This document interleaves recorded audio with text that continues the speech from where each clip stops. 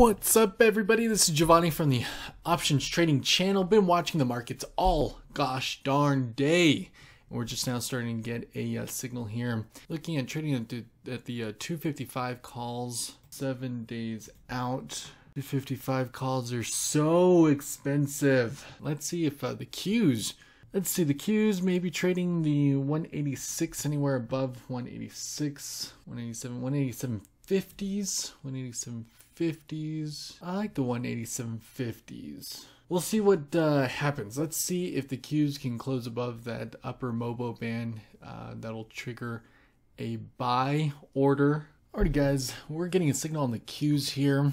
I'm getting ready to buy two of the 18750 calls that expire in seven days. Market order, I'm gonna do two. So got five minutes until candle closes. I think it's gonna close. Let's see, we're gonna do a limit order at 850. See if I can get filled in there. the 8750 calls that expire in seven days. That's me on the bid at 850. And it looks like I got in. Got in at 850. Uh, we're gonna go to positions. I'm gonna close just one. And for demonstration purposes, this is what I'm doing.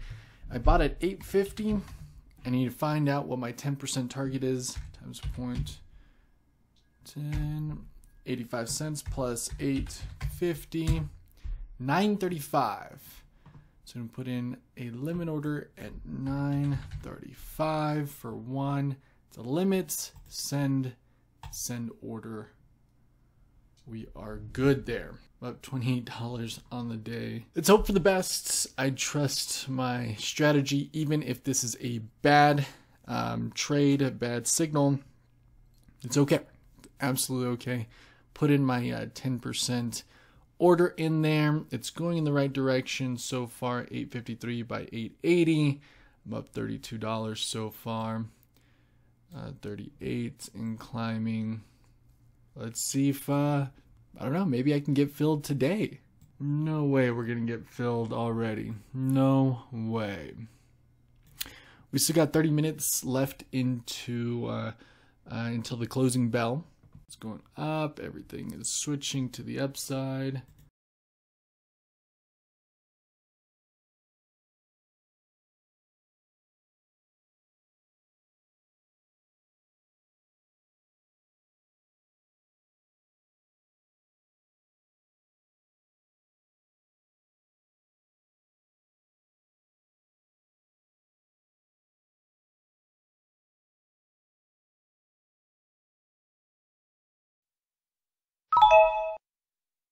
What's up, everybody? This is Giovanni from the Options Trading Channel, and I'm here to report. Sadly, this was my biggest loser ever.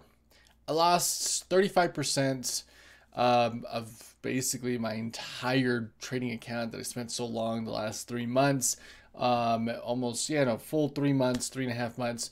Uh, building it, I had it up to 80%. Now I'm back down to 30%. I'm still in the green from when I started at the beginning of the year. I'm still in the green by $300. Uh, but again, my worst nightmare happened, which was getting in. And the moment I get in, it just tanks. The market tanks. It's not so much my strategy. It, nothing could have predicted that move. Everything seemed like it was in place. In fact, I was um, up. I was.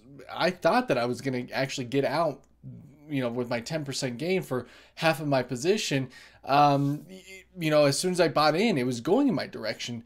But something spooked the markets yesterday. I don't know. Um, I tried looking everywhere to see, you know, if something happened.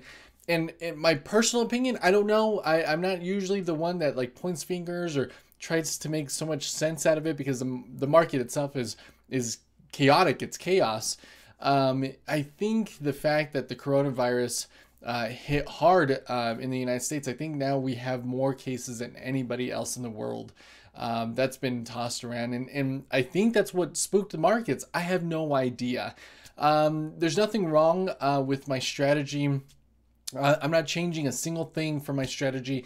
The one thing that I can do is um, it, it's about money management, I guess. We'll start. I'll start there. It's about money management, and I was trading with basically 90% of my entire portfolio. That's a big no-no. If you want to survive in these markets, you got to take those hits and be safe uh, taking those hits because that's the inevitable. It's the inevitable that we're going to lose. We're going to have losing trades. We're going to have uh, bad trades. It's just a fact of trading the stock market. You can't be right every time. It's just not realistic. So, it's okay. I'm okay. I'm still here. I'm not, um, you know, sure that's that's quite the hit hits, but you know, I'll recover. I'll recover recover from it from it eventually.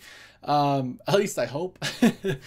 but anyways, I I want to be as as transparent as I possibly can with all my trades with my channel. This is what I'm here for. I'm not here to show you the big Lambo uh, in the background, my big mansion for crying out loud. That's not me.